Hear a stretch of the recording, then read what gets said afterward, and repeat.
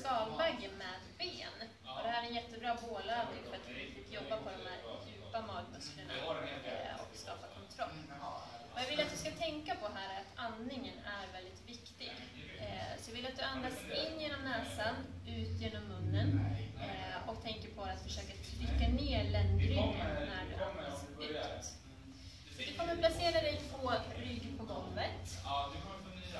Börja med att lägga dig så här med fötterna i golvet.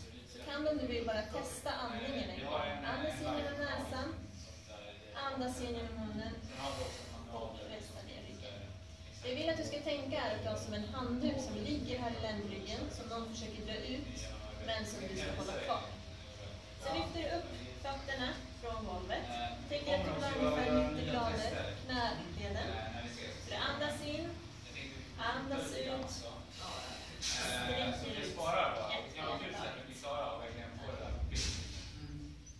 ska tänka på är också att rörelserna ska vara kontrollerade hela tiden. Vi vill inte att du sträcker ut